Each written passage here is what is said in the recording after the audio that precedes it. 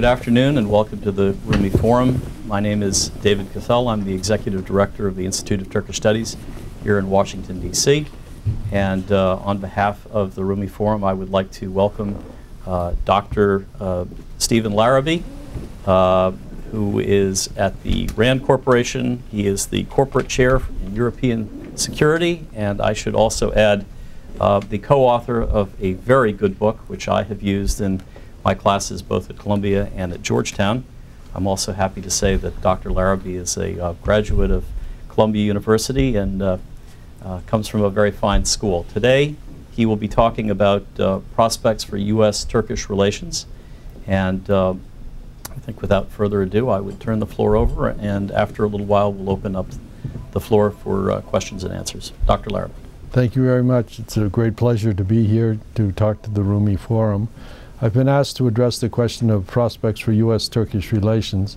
Let me just begin by saying that what I have to say represents my personal views, not the views of RAND or any of its sponsors, just to make that clear.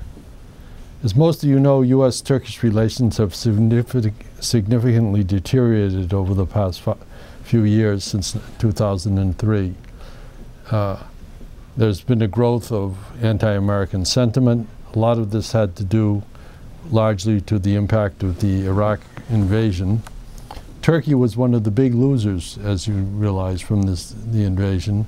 The invasion had a number of negative consequences for Turkey, resulted in growing instability on Turkey's southern borders. It increased Iran's influence both regionally and in Iraq, and it increased Turkish nationalism and the danger that an independent Kurdish state would emerge or could emerge on Turkey's southern border. And finally, it led to a growth of terror attacks by the Kurdish Workers' Party, the PKK. Particularly the U.S. unwillingness to support Turkey's effort to combat PKK terrorism led to a sharp deterioration of relations between the United States and Turkey. Thus, Obama's visit provides an important opportunity put U.S.-Turkish relations on a firmer footing and to improve these relations. First of all, I think that th there is likely to be much greater harmony in Obama's foreign policy uh, than there was with Bush's foreign policy. And this is particularly true in the Middle East. Uh, the withdrawal of, of U.S. forces from Iraq should remove an important irritant in U.S.-Turkish relations and it will also reduce the U.S. support for the Kurds and diminish Kurdish leverage, I think, over U.S. policy. And it could lead to an important improvement in Turkish relations with the KRG. The KRG, in my view, is more isolated today than in the past.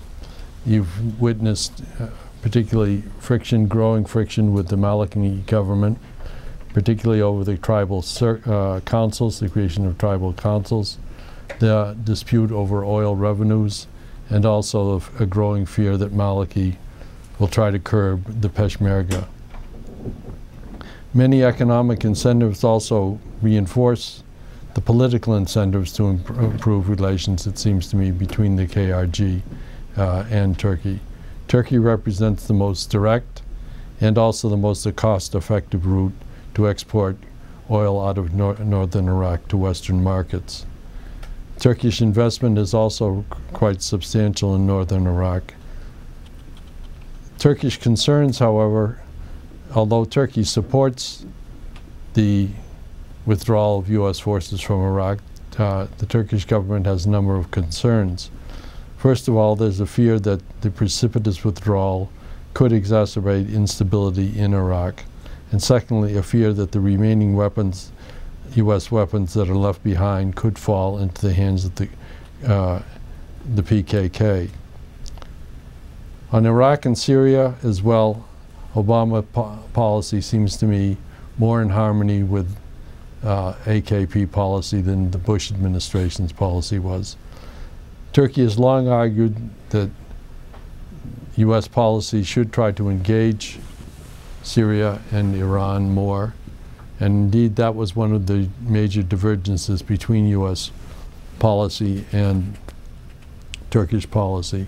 Turkish policy was essentially towards both Iran and towards uh, Syria was oriented towards trying to engage both of these countries, whereas the Bush administration was essentially, or policy was essentially oriented towards uh, trying to either contain Iran or Syria or, or isolate it. Obama, however, wants to engage and open dialogue both with Iran and with Syria. This, therefore, should result in greater harmony between U.S. and Turkish policy and reduce some of the friction that we've seen uh, in the past. Uh, however, I, unlike many observers, I do not think the United States will look to Turkey as a mediator in this uh, in relations with Iran or with Syria, not in the way that, not at least as a direct uh, mediator. The U.S. and Obama, I think, during his visit, will ask for uh, Turkish support and Turkish advice, but I doubt that he will ask for a direct mediator uh, role. Uh, one, there is one element of continuity, I think, however, in U.S. policy towards Iraq, uh, towards Iran, that uh, will mark both the Bush administration, which is likely to mark uh, the Obama administration as well. And that is that the, the Obama administration, I think, is likely to continue uh, to, to ask Turkey to limit its investment in the Iranian oil sector. This is likely to remain to be a source of difference in bilateral relations. On the Arab-Israeli dispute as well, seems to me here, too, you're likely to see differences in Obama's policy with Bush that may make it easier, uh, greater harmony with Turkish policy. Bush saw Iraq as the key to stability in the Middle East, wrongly in my, my view, and I think history has shown, recent developments have shown that that was a misperception. And he tended to shun engagement in the Arab-Israeli dispute until the last few months uh, of the administration. This effort the, at the end of the administration to try, try to broker a peace settlement came, however, too was essentially too little and too late in my view.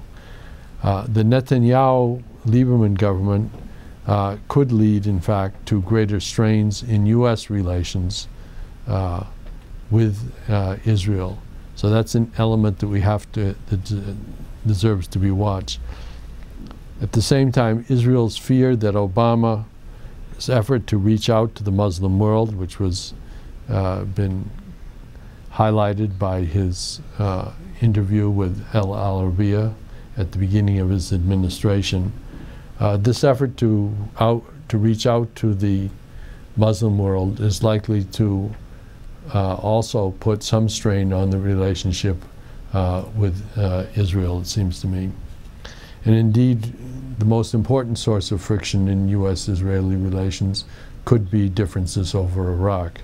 Uh, Israel may press the United States for support for an attack, military attack on, uh, on Iran. And I think it is unlikely uh, that Obama would support su such an effort. Afghanistan is also to, uh, likely to be less of a uh, source of friction than it was perhaps in the Bush administration. Uh, Obama is likely to put, in my view, less emphasis on troops uh, from Turkey than on uh, other aspects, such as uh, for many Europeans to help uh, with policing and with re reconstruction. Obama's policy is also likely to effort more, put more emphasis on uh, diplomacy and try to see, try to uh, see the problems in Afghanistan as closely linked with those in, uh, in Pakistan and indeed take a much broader regional uh, approach than the uh, Bush administration uh, did. All this, it seems to me, is likely to reduce Afghanistan as a point of contention in U.S.-Turkish relations. On the European front, uh, I think the administration will continue to give strong support uh, for Turkish membership uh, in the European Union, although it may do this less vocally and less openly uh, and less stridently in some ways than the Bush administration did. That, however, I would argue actually could enhance Turkey's uh, chances for uh, membership because I think more quiet diplomacy behind the scenes is likely to be uh, more effective than a confrontational ap approach, which uh, is likely not to go down very well uh, with Brussels. Uh, I think Obama will also uh, continue to give strong support to Greek-Turkish uh, detente, which has gone on since 1999. However, on Cyprus, I think he is more likely to leave the responsibility for promoting a, a settlement in Cyprus uh, to the UN and to play a more of a supporting role as the United States has uh, in the past, rather than uh, a more uh, open and direct uh, role in uh, trying to facilitate a, a settlement of the Cyprus question. However, if the UN talks do begin to show some promise of uh, leading to a settlement, then I could imagine that uh, Obama would perhaps give the talks a greater impetus. But at this point, he has an enormous, he faces a number of enormous challenges. Uh, the economic situation being being one, obviously the financial situation. Uh, secondly, of course, Afghanistan, Iran, uh, withdrawal from Iraq, Middle East peace process. All these issues are likely to be front and center on his uh, agenda. Therefore, I think Cyprus is likely to be fairly far down on the agenda, and as I suggest, uh, at least initially likely to leave, uh, let the UN take the lead on uh, the question of a Cyprus settlement. One issue that could be somewhat divisive uh, could be the question of relations with Russia. Obama initially is likely to try to engage Russia. I think that's made clear in the letter from Obama to President Medvedev, uh, by also uh, Vice President Biden's remarks in uh, at the Munich Security Conference a month ago, where he uh, talked about resetting uh, the button on U.S.-Russian relations. But if Russia proves to be unresponsive to the administration's initiatives, uh, the U.S. position could harden. And if it should harden, this uh, could then lead to some strains uh, with Turkey. Uh, Turkey's, Russia is Turkey's uh, number one uh, trade, trading partner partner, the relationship with Russia has shown enormous improvement uh, over the last day, mostly in the economic area, but also in the political area. And Turkey's ability to pursue close ties to Moscow could be severely constrained uh, by increased overt co competition between Russia and the West. In other words, Turkey's relationship with Russia will at least in part depend upon the development of Turkey of Russia's relationship with the United States uh, and the West more uh, broadly. And if that relationship becomes more contentious, uh, this will then have an influence on Turkey's ability to uh, pursue uh, good relations with Russia as well. In the Caucasus more broadly, I would argue that U.S. and Turkish policy uh, objectives and interests largely coincide. Uh, Obama is likely to be particularly uh, supportive of the Turkish Armenian or the efforts by Turkey to pursue reconciliation with Armenia. Uh, if this is successful, and recent Turkish uh, statements by Turkish officials suggest that Turkey and Armenia are very close to a normalization of, of relations, and that one could see some gestures perhaps even before uh, uh, April 24th.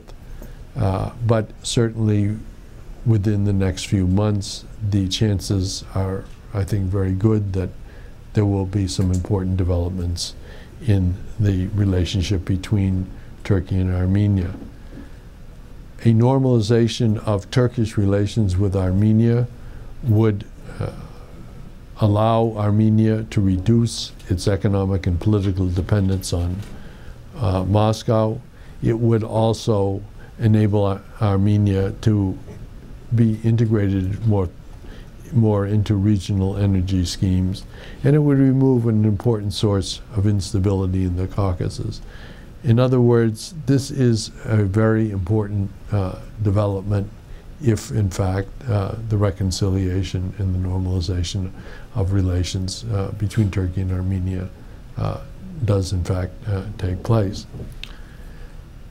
Therefore, in sum, the relationship between Turkey and uh, the United States on the on the eve of this visit uh, does seem to me to hold the promise of a significant improvement. U.S. and Turkish objectives in a number of areas, particularly the Caucasus and the Middle East, uh, largely overlap. But a lot depends, obviously, on Obama's handling of the genocide resolution in Congress. The passage of the genocide resolution could derail Obama's effort to repair relations with uh, Turkey.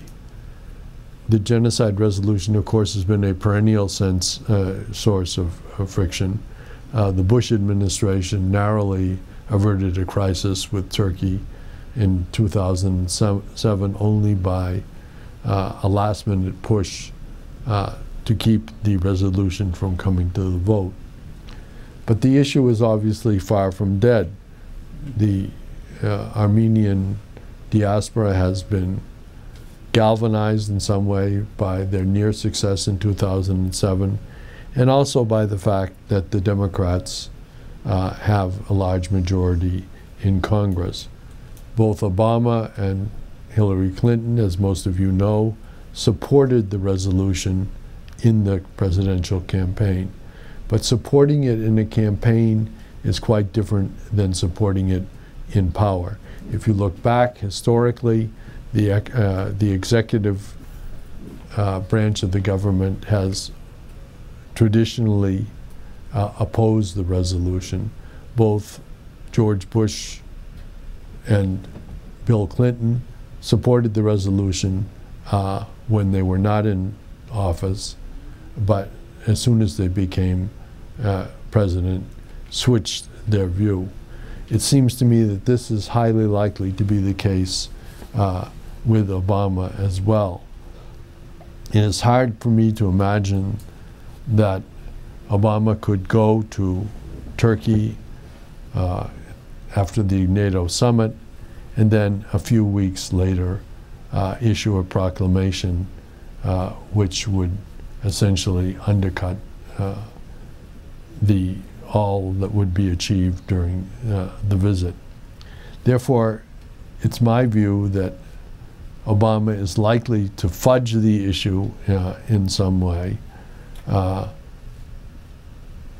be, and give priority to the strategic uh, rationale behind a rapprochement with, with Turkey. Uh, a, if the resolution were to pass, it seems to me that the negative uh, impact on U.S.-Turkish relations could be uh, quite serious. The Erdogan government could, and I'm not saying would, but could come under significant domestic pressure to take some retaliatory action, uh, perhaps even uh, constraining U.S. access to Incirlik. Not predicting this, but one cannot exclude that that would happen. Uh, this could affect the U.S. ability to withdraw uh, forces from, uh, from Iraq. And secondly, it certainly would have an impact on uh, the transport of men and materiel to Afghanistan. It would also undercut, most likely, the reconciliation and rapprochement between uh, Armenia and Turkey. Therefore, if one looks at the strategic advantages of maintaining and trying to improve relations with Turkey against uh, the advantages what, uh, of passage of the resolution, it seems to me highly likely that the administration will succeed in finding a way to ensure that the, at least for this year, that the resolution does not come uh, to a vote. That's, I'm a minority, I have to say, uh, in this town. There are a lot of people who think that uh, the resolution uh, will pass simply because the Democrats have uh, such a large majority uh, in Congress. But as I say, my own view is that the strategic rationale uh, and the desire to improve relations with Turkey, uh, and particularly Turkey's increasingly important role in the Middle East, uh, will impel the administration to find a way uh, to keep uh, the, the resolution from coming to a vote. At the same time, it will be important that Turkey continue the effort that is made over the last few years to address the Armenian issue more directly and more openly. But that is more likely to happen, in my view, if, in fact, the resolution is not uh, passed. Indeed, I think the resolution, among its other uh, negative consequences, would one of them would be also uh, to undercut and make more difficult the effort that Turkey has been making in the last few years to address the issue. Therefore, you would have three negative. Uh, resolution would, in fact, result in a lose-lose situation. It would uh, impair U.S.-Turkish relations. Uh, it would risk uh, derailing Turkish-Armenian detente, and domestically in Turkey, it would probably uh, lead to not less openness, uh, not more openness, but less uh, openness. So therefore, my hope and conclusion is that uh, it is unlikely to be passed this, this year maybe I'll stop there and be glad to answer any questions. Well, thank, thank you very much. Uh, this is a wide-ranging and uh, very interesting uh, discussion. Um, I'm going to do what I normally do, which is reserve the right to the first question or questions, and then we'll open it up to the floor. And when we do open it up, if you will uh, be so kind as to identify yourself and whatever affiliation, academic or otherwise, you might have. Um, my, my questions are, are, are twofold. Um, one is you mentioned that the, um, that the United States is, is probably fairly loath to um, allow Turkey to act as a moderator, but in particular. Mediator. Oh, okay, mediator. Um, in particular, uh, of interest to me is, is what is going on in the Caucasus and Armenia and Azerbaijan. Um, and clearly the U.S. has something to bring to the table there but also something to gain from uh, a, a, more settled relations in, in the uh, in the Caucasus. Uh, certainly, if uh, Nagorno-Karabakh can be resolved, that has implications for energy coming out of or gas coming out of Turkmenistan, um, as well as as lessening of tensions in the in the in the Caucasus. in, in this capacity, though, do you think that um,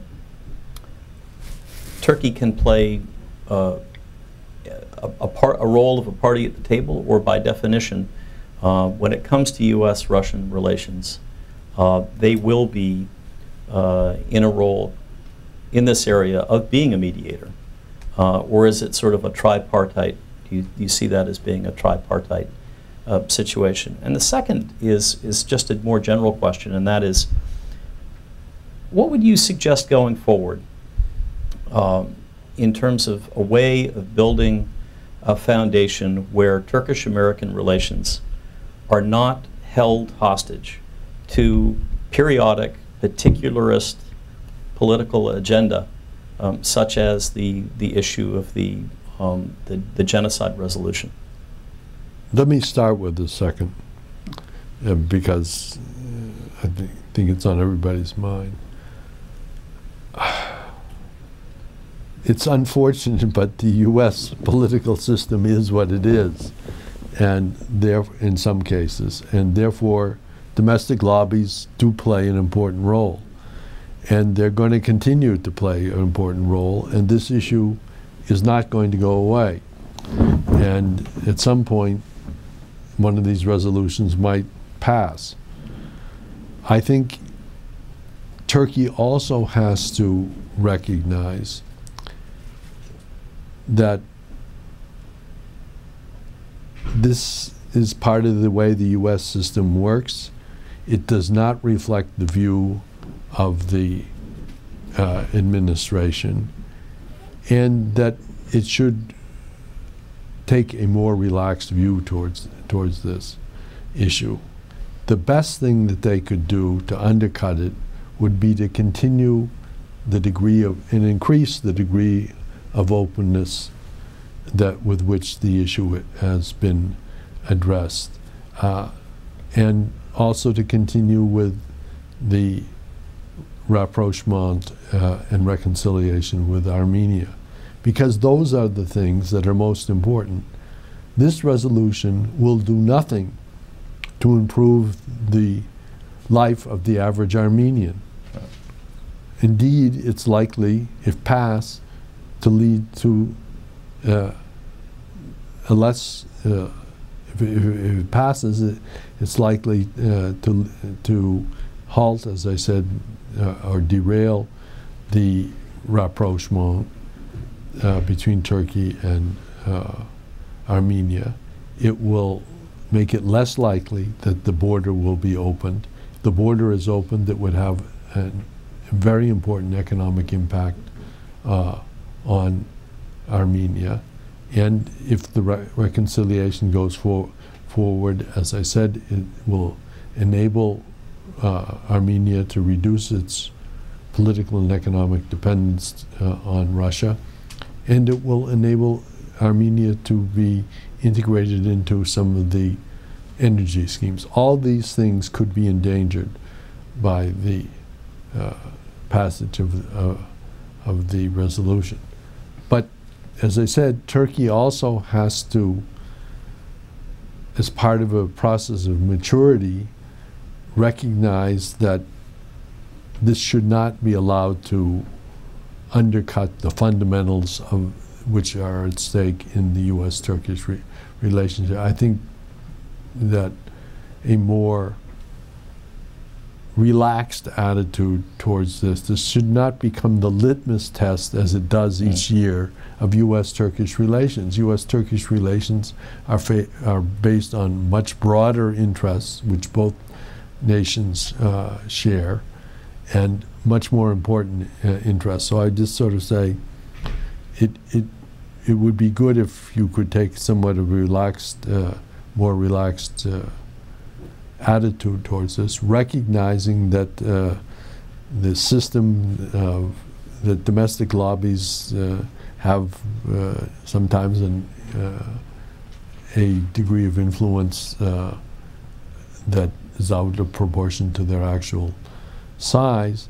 But you know, even if this is a pass, this is not a binding resol resolution, uh, and the best way to defang it in the, the, future, as I said, is to address this issue uh, do what Erdogan has suggested, which I think is right, to continue to try to uh, uh, put together a historical commission, as he has suggested, and continue to show that Turkey is willing to address this issue. That will have more effect on undercutting the, uh, the impact of the resolution uh, than anything else other than the reconciliation between Turkey and uh, uh, Armenia. Now, the, the first question related to the question of the Caucasus. I think Turkey is playing an ex exceedingly important role in the Caucasus. I think, as I said, U.S. and Turkish um, interests and policy largely overlap. I don't see Turkey playing a role as a mediator between the U.S. and Russia. The United States doesn't really need a mediator there. But I do see uh, Turkey even being out in front in the Caucasus in terms of promoting uh, security and stability there. And I think the stability platform obviously is an important example.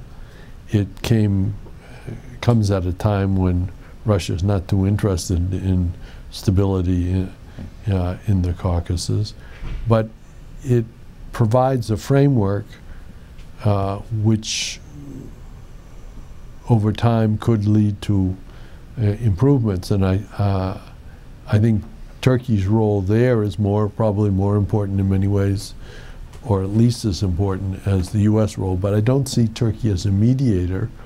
Um, but I do see it, as I said, as actually being the maybe the lead player uh, in the Caucasus.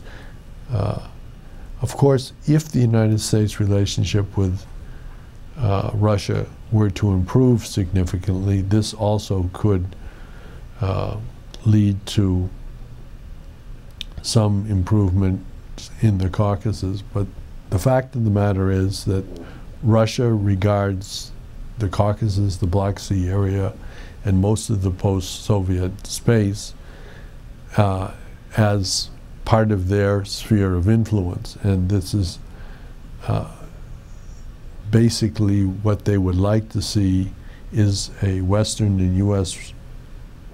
de facto, if not de jure, recognition of their sphere of influence. This is unlikely to take place. It would be a rejection and repudiation of U.S. policy since the end of World War II and the repudiation essentially of the Helsinki agreements. What we we don't want to see more Yaltas or more dividing lines in uh, the post-Soviet space, and uh, what we want to see uh, is fewer dividing lines. So therefore, uh, it is unlikely to that Russia will succeed uh, in its objective to get the West and the United States, in particular, to accept a, a sphere, uh, a sphere of influence. Mm. Thank you. Yes, sir. Yep.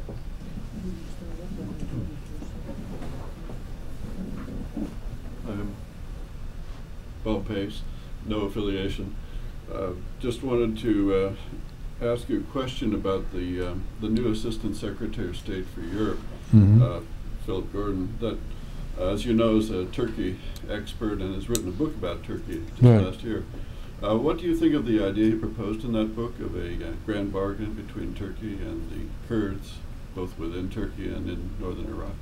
Uh, I don't know exactly what the grand bargain uh, entailed.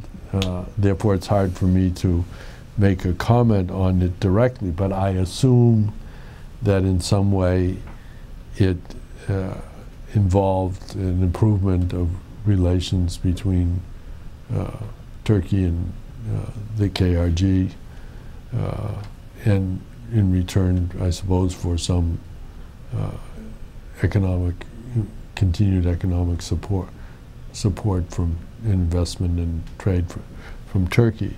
I mean, what I think you've seen uh, is in fact a shift in uh, Turkish policy towards greater engagement recently with the KRG. Uh, one of the main obstacles to that in the past had been the uh, opposition of the Turkish military. That seems to have been largely uh, overcome now. And in the recent months, you've seen increasing contacts between uh, Turkey and uh, the KRG.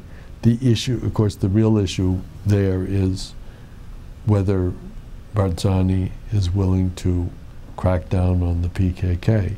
And so far, he really has not, until very recently, shown any indication whatsoever of being willing to do that. Uh, so if there's going to be an improvement, uh, a serious improvement of relations with the KRG, then that will have to be uh, overcome. Now, there's, as you know, some talk recently that there there may be he may be willing to do more than he has in the past, but the proof uh, of the pudding will be in the eating, and we have to see whether, in fact, that really does uh, prove to be the case. He so far he's been uh, notably unwilling to take the steps that would make a real intensification of relations uh, between Turkey and the KRG possible.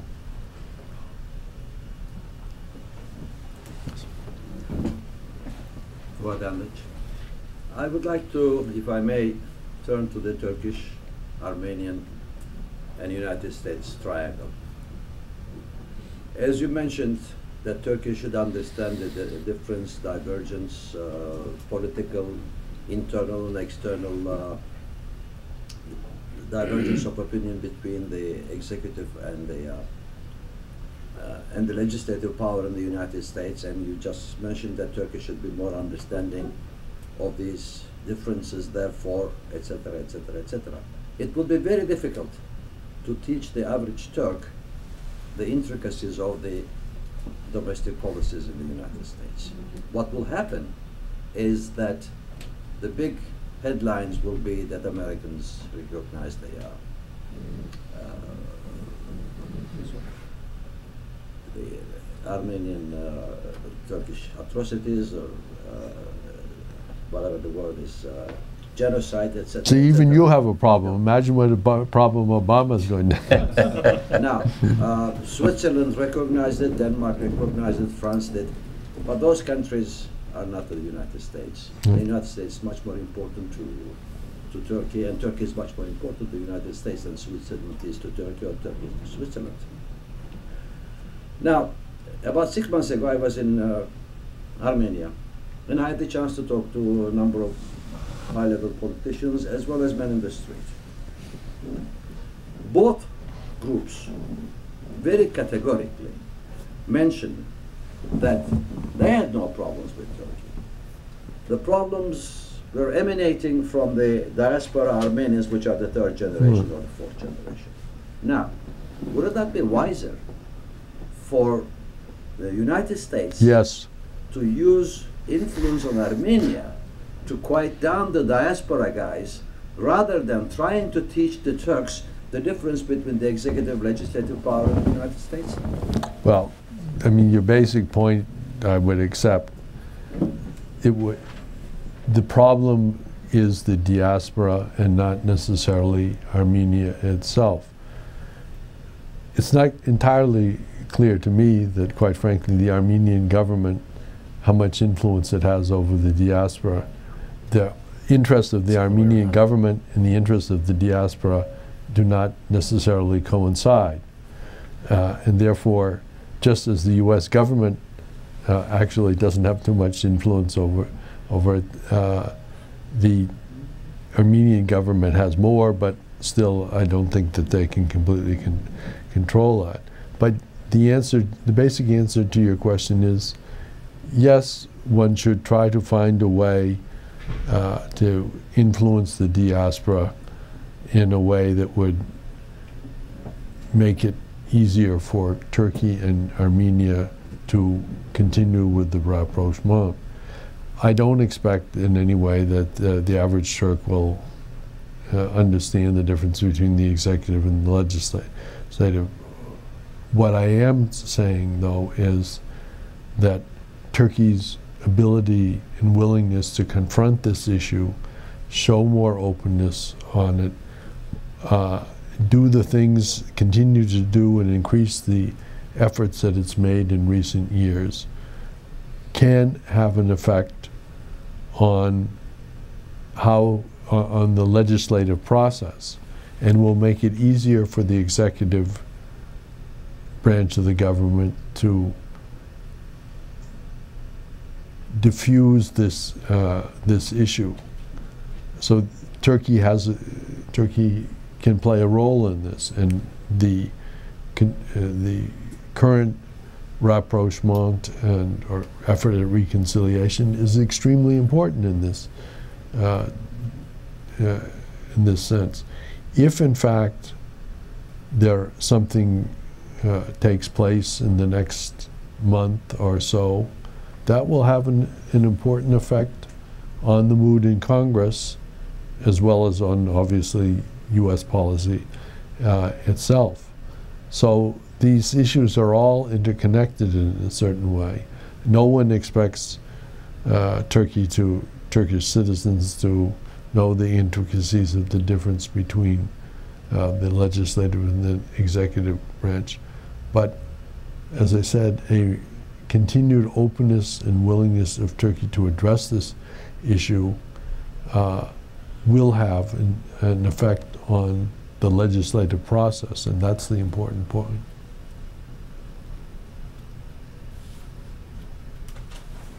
Yes, ma'am.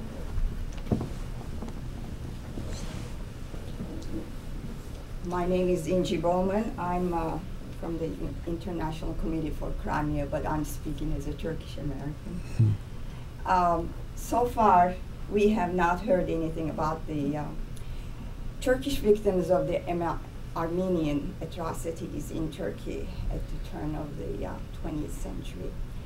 And I once, while there are thousands and probably millions of Turkish citizens whose ancestors were killed by, uh, by Armenians. And I once worked uh, with a Turkish physician in Houston who had lost 42 members of his family to the Armenian atrocities in eastern Anatolia. So what I'm saying is that Turkish government people blame Turkish government, but Turkish government is not separate from the Turkish people. And I don't believe that uh, Turkish government could ever accept this because people would really, the Turkish people would really re maybe rebel. I mean, I also attended two meetings in Istanbul about this issue. Emotions run very high. Turks feel very strongly about this. And we don't hear anything about how the Turkish people feel about this. Well, I think that it's fairly well known to specialists who work on this uh, issue and to uh, government officials in the United States that the Turkish people do feel very strongly about this. But it is also, I think, fair to say that there there is not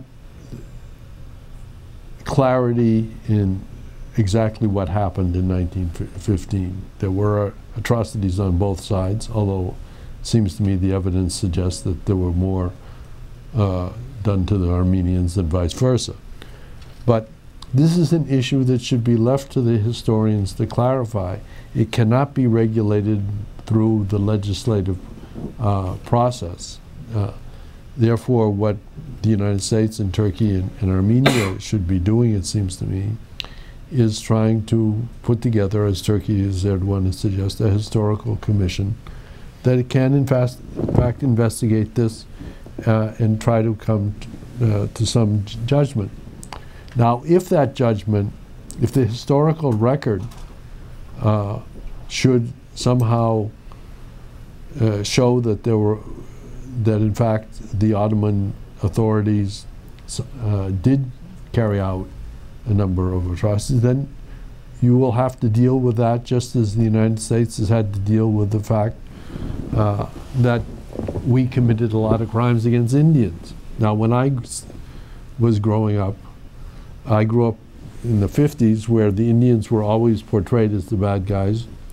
And, you know, there were no good Indians, and there was a famous saying the best uh, Indian is a dead Indian, I- Indian being a word for Indians. That was the mentality that I grew up with until the 60s, when a different um, portrayal of the Indians began to uh, be, be made, both in films and historical record and so forth. And the American people had to learn that, in fact, what I had learned as a child was, in fact, not true.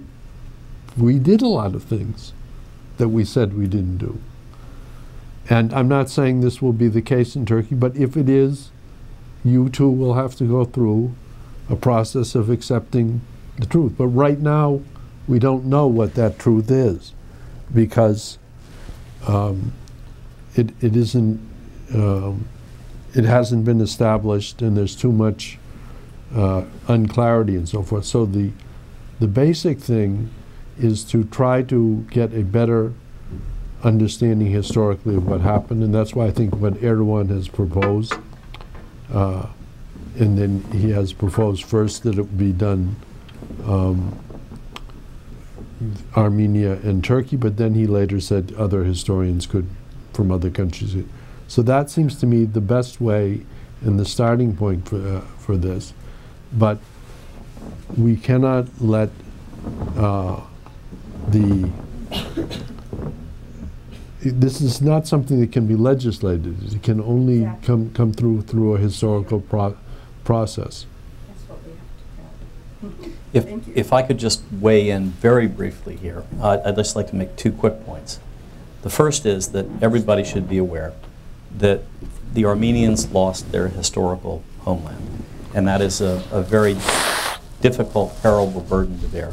The second point is that all the nations, I think it's, I can't remember, it's 49 nations in the OSCE or whatever the number is, all agreed to, including Turkey, to look at this issue and let the chips fall where they may. The only nation that did not agree was Armenia. So it's a complicated issue, but hopefully, you know, there will be a solution and, and people will come together on this. And I think, I, let me just add that the reconciliation process itself will make it easier to do that once the there's been a kind of political break, uh, breakthrough. I think it'll be easier to address this issue uh, as well. Uh, so that that can contribute uh, to the to that. Absolutely. Same, same cooking, same family, ideas, very similar. Yes, sir. That's right. Thank you. Um, uh, Abraham Abidor, uh, doing consulting work for the American Turkish Council. And my question is, in what way the U.S. can uh, facilitate or help uh, resolve the uh, Cyprus issue that Turkey is involved, and also in what way the U.S. can assist Turkey become a member of the EU. Right now, it seems like it's, it's been a perpetual candidate with not much progress. First, on the EU, uh, I mean, Turkey, uh, the United States can't do too much to help Turkey. It can support, as it has traditionally and will continue to do, Turkish membership. But this is uh, ultimately a, a decision that will have to be made by the European Union. Now, I think, first of all, you have to accept the fact that the Erdogan government has done more than any other government to uh, try to facilitate Turkey's entry into the EU. But you also have to accept that since 2005, the domestic reform process has slowed down. And w- one needs to, I mean, there are a number of reasons for this. Obviously, there's been some hardening of the EU attitude, which has then been reflected in Turkey in disenchantment with uh, the EU, and therefore the government has felt under less pressure in some ways uh, to mo- move us forward uh, with the do- domestic reform as it might have done otherwise. And then you have to take into consideration at the same time that the party was fighting for its life for a while and so forth. But now that that period is over, and therefore it will be incumbent upon Turkey to reinvigorate uh, the reform process. And the United States' role there can be to encourage Turkey to do that uh, and to continue to support its membership, which I think think it will do. Um, on Cyprus, again, this is an, what's changed when is the fact that in the 60s, 70s, and 80s, the U.S. had a major ro- role to play in the Cyprus issue. But now the Cyprus issue is essentially an issue between the EU uh, and Turkey. The U.S. role, in some way, has been, uh, quite frankly, marginalized uh, because it's not uh, the United States that's holding up uh, progress to a certain extent, but uh, it is, in fact, so entangled with uh, with Turkey's accession to the EU, with Cyprus' role in, in membership in the EU, uh, and there the, the United States has really limited uh, leverage. It can, behind the scenes, try to encourage the EU to do certain things, but itself, uh, its its role is actually limited, and that's why. In the past, if you look at this, uh, the Cyprus issue has been an issue on which the United States has uh, stumbled badly uh, a number of times, particularly in 63, 64, and uh, in 1974. And in part, in each time it has ended up uh, either having a de- sharp deterioration of relations with one side or in, some, in many cases uh, with both sides. And therefore, since essentially 1974, the U.S. has withdrawn a little bit from the Cyprus issue, has not played the lead role, but has been supportive in the UN process. And I think, as I said, given all the major challenges and pressing problems on Obama's plate, uh, he's likely to continue to give, have play a supportive role, but not necessarily take take the lead, unless and until there are some signs that there's a real likelihood of a breakthrough. And if that were to happen, then I think he would more likely throw the U.S. weight into the breach and try to get it. But it is not an issue on which the U.S.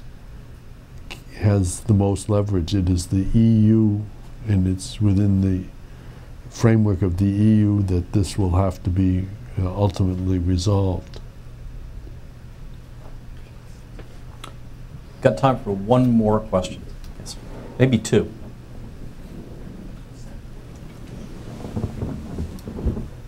Kasım ne yapıyorsun? Kasım için demek you you talked about the resolution, but I didn't hear you say anything about what Obama is going to do on the 24th. How is he going to overcome? If I knew, I, I, I, I can tell you what I think he'll do, but I can't, like everyone else, I'm guessing. But my calculation is it's very hard for me to imagine him going to Turkey and then two weeks later uh, making a major pronouncement on, ge- on genocide and using the G word.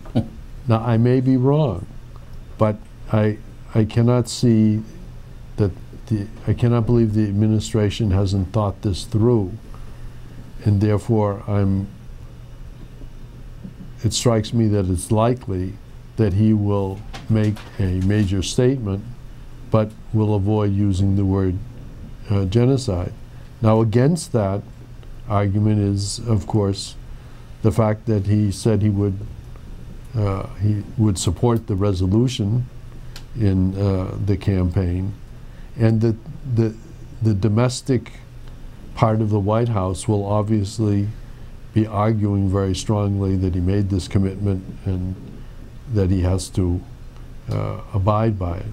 And the foreign policy side of the White House, which is, this is, this is always the way it is, will say, look, the strategic arguments, the strategic factors outweigh uh, the domestic fa factors here, and you know we will see who, which side wins. But my guess is that he will make a strong statement, but avoid using the word uh, genocide. But you know, no no one can can say for for certain, and this happens every year. And, but my, to my recollection, the only president that actually used the word genocide, I think, was Ronald Reagan. The others have uh, avoided using the word uh, uh, genocide. But all of this has become, as I tried to suggest, a highly overly politicized issue. Uh, the real fact is that this should not become a litmus test of U.S. Turkish relations. There are too many other deeper and more fundamental interests that the two sides uh, share, and it would be, whether he uses the word genocide or not, it would be, in my view, ill considered and counterproductive to allow this issue to obscure these more fundamental and basic interests that tie the two countries together. Thank you. Hakan, last question. That's a quick question. Uh, Cook, SETA Foundation. Uh, Thank you so much. Sorry. I'm sorry, which foundation? SETA. Oh, yes, right. Um, so my question is, is regarding some pre-existing mechanisms for dialogue. On the Turkish side, we have in Parliament the um, U.S.-Turkey Friendship Caucus, uh, and that are following several uh, delegations to, to Washington in the last several months. And on the U.S. side, in Congress, we have the uh, Turkey Caucus headed by Congressman Wexler, and also the Congressional Study Group on Turkey. Uh, what can be done, in, in your opinion, to uh, to increase the level of engagement between these two pre-existing mechanisms for dialogue? There must be some, some greater potential to utilize these. Thank you. Well, I think one of the uh, important things would be a greater interaction between Turkish members of the National Grand National Assembly and uh, Congress. In other words, greater congressional uh, interaction. I think on both sides it would be uh, useful. Uh, I think it's important that more congressmen understand what's happening in Turkey, what's going on. Also, even on the, the, the genocide resolution, I mean, the fact of the matter is that most congressmen who will vote either for or against this have very little knowledge of what really happened, let alone how difficult it is to really find the truth in the first place.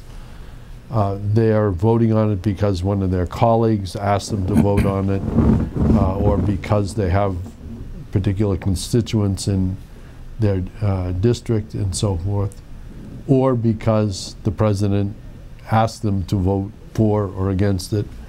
Uh, but they don't really know, and they don't really have a, a very good knowledge in many cases of uh, Turkey, let alone the complicated issue.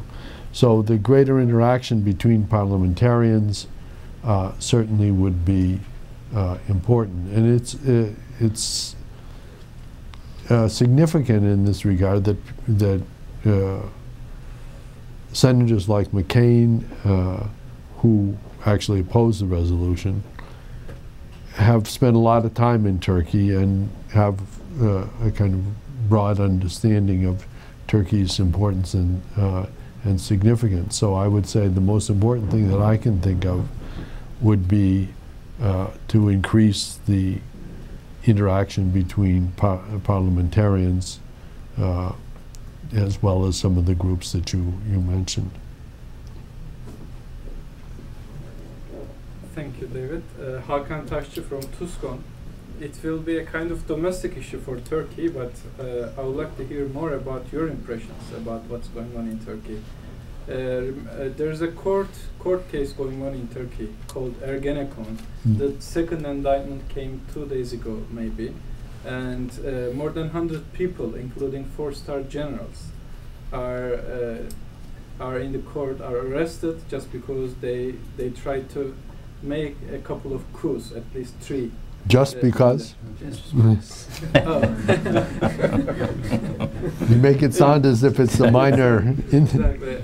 Anyway, but there's a case going on there, and then I would like to get your impression how this case is seen from here.